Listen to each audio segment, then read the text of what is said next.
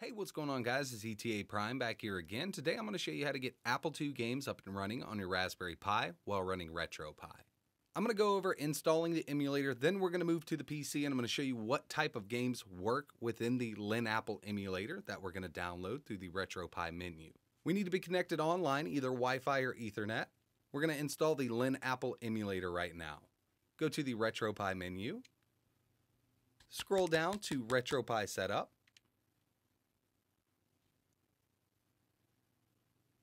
From here, we're going to scroll to Manage Packages, Manage Optional Packages, and we're going to find the Lin Apple Emulator.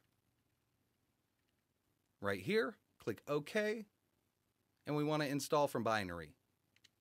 Now this could take a little while. It took me about four minutes to install, so just be patient. Now that it's installed, we're going to go back, back, back, and we're going to perform a reboot.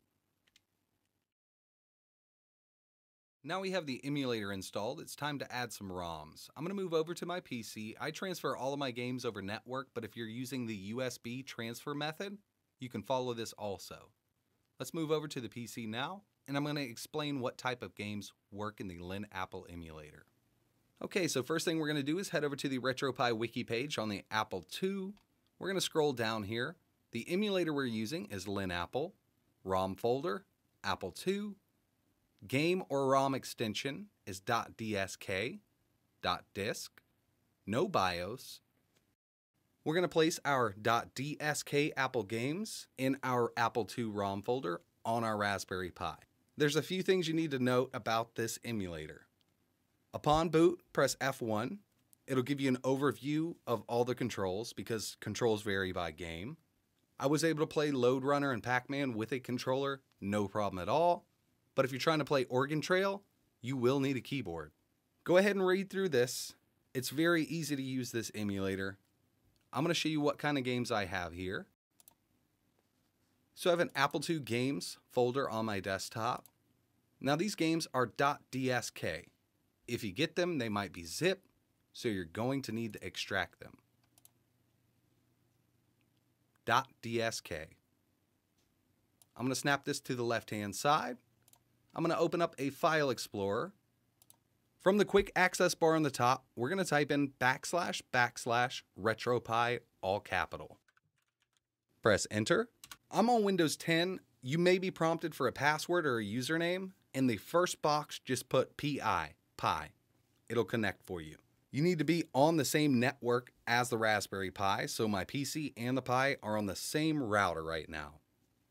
We're going to go to the ROMs folder. We should now have an Apple II folder. And we're going to take our DSK games, place them right in here.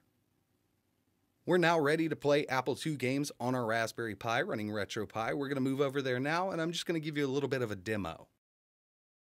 So like it said in the RetroPie wiki, you probably want a keyboard connected to your Raspberry Pi. The Apple II was a computer that used a keyboard for most games. Some games use controllers, but a lot of them you really need a keyboard to play.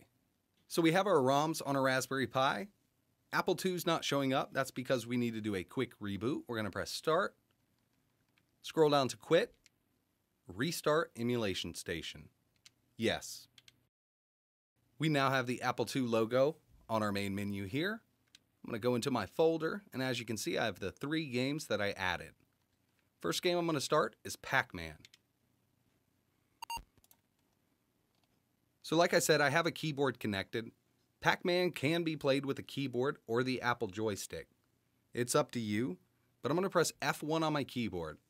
Read through this, it tells you everything you need to know. F10 will quit the emulator. If you're using a controller, Start and Select will also exit us out back into Emulation Station. Press F1 to exit that menu.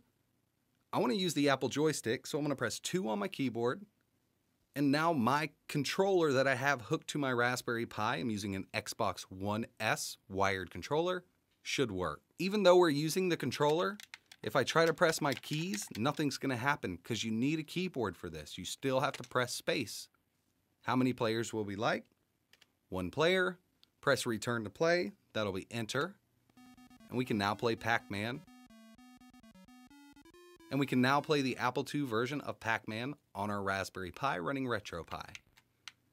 My analog stick on my Xbox One controller is controlling Pac-Man at the bottom here.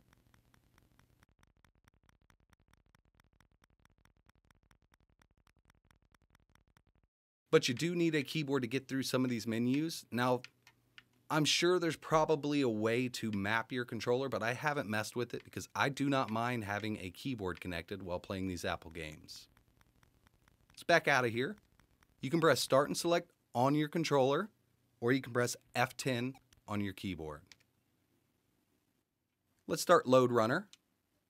Now this is a game I can use my controller completely to start the game and everything.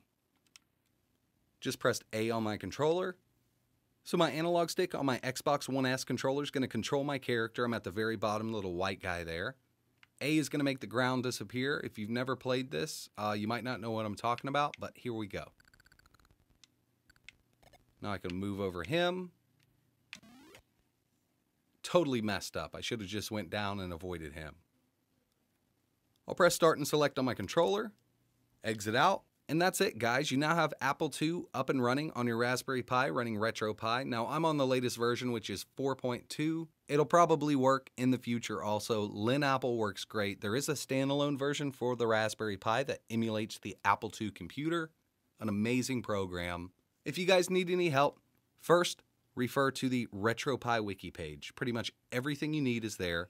If you're still having issues, come back, leave a comment down below, and I'll try my hardest to help. Like always, thanks for watching.